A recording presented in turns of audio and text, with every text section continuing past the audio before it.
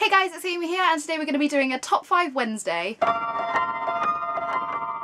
Top 5 Wednesday was created by Lainey over at Ginger Reads Lainey. I will leave her channel link down below and also a link to the Goodreads page if you want to go and join the group. This week's topic is best books that have been recommended to you from other people, so I have five books here to show you, so let's get on to it. The first book I have to show you is The Shadow of the Wind by Carlos Ruiz Zafon. This book was actually recommended to me by Colleen over at Little Ghost Creations years and years and years ago when I first started my channel and she was running a booktube kind of giveaway on her channel and I entered to win it and I won it and she sent this book over to me and I absolutely adored it. This book is kind of a mashup between mystery, historical fiction, romance, and just a load of other really great things. If you like books that are about books, then this is probably one for you as well because the whole kind of plot of the story centres around this mysterious author that supposedly died and his all of his books have been burnt and disappeared. There's also a very nice library that the protagonist goes to. The whole story is set in Barcelona and I actually visited Barcelona after reading this story and I just absolutely fell in love with it. I'm definitely going to reread it again at some point soon so I would highly recommend if you haven't read it yet. The next book I have here is The Book of Lost Things by John Connolly. This was actually recommended to me by my granddad and I think he bought it for me as well. So I would describe this as a very dark Narnia story mixed in with a lot of other fairy tales.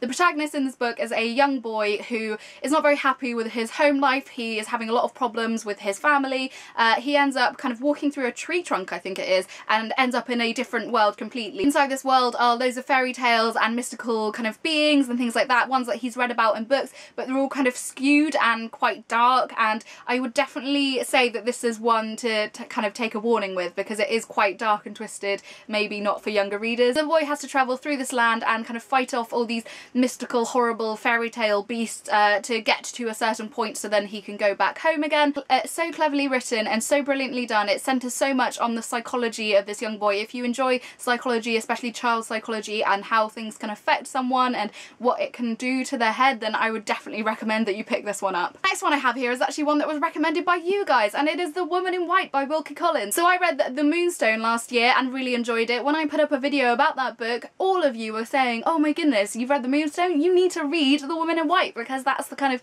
most well-known book and the most praised one from Wilkie Collins. So because I trust your opinion, I went and picked it up and I actually read it last month and I thoroughly enjoyed it. The book, as with The Moonstone, is told through various different perspectives. We start with a man called Walter Hartright. He is walking through the streets of London and he comes across a woman completely dressed in white. This woman seems really distressed, like she needs to get away from the situation quite quickly, so he helps her into a carriage and she uh, goes off on her way. He then overhears two gentlemen talking to a police officer and they're saying that they're looking for a woman completely dressed in white and that she's escaped from an insane asylum. Walter Hartright is a little confused by this because the woman didn't seem insane, yet he has no idea where she's gone, so he doesn't say anything to the people. Months down the line, Walter is in a different part of the country and he comes across the woman in white again. And the whole book is centred around this woman in white and how she is connected to all the different characters in the book and whether she was even meant to be in the insane asylum to begin with and how it all kind of plays out. It's just fantastic and I would highly recommend. Book number four is actually one that I've read this month and I'll be talking about it in my wrap up. The book is The Assassin's Apprentice by Robin Hobb. This is the first book in the Farseer trilogy. I picked this one up on a couple of people's recommendations. Samantha at Novels and Nonsense and Mercy at Mercy's Bookish Musings.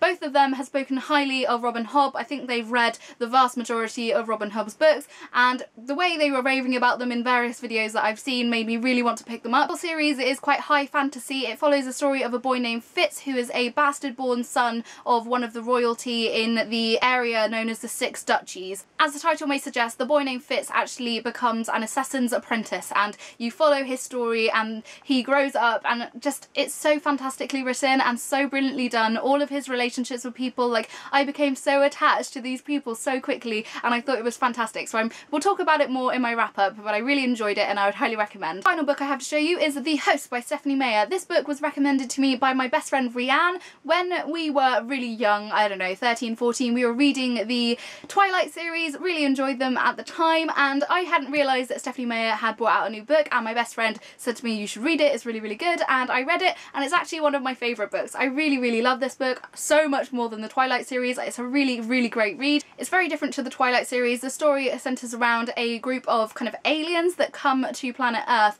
and use human bodies as their hosts. These aliens go down into the human bodies and then the human kind of conscience inside kind of disappears and then they just take over the body. main character Melanie is a human at the beginning of the book and she has one of these aliens put inside her and really she's meant to just disappear but she is fighting and she doesn't want to disappear. Melanie and this alien which is known as Wanderer end up sharing this body and Melanie's kind of human thoughts kind of meld in with this alien's thoughts and they end up kind of going Melanie's way. The story is beautifully done. It does have its flaws, but I think the overriding message of what it does it mean to be human and having your own body and physical appearance and all the things it brings up is just so wonderful and I really really would recommend if you haven't got on with the Twilight books this it's like it's written by a different person like I just adore this book. There we are those are the five best books that I've been recommended by other people let me know down below what your five best books are I'd be really interested in speaking to you about it. As always I will leave links to Facebook, Tumblr, Twitter everything I've mentioned today down below. I hope you're all having a fantastic day and I will see you soon.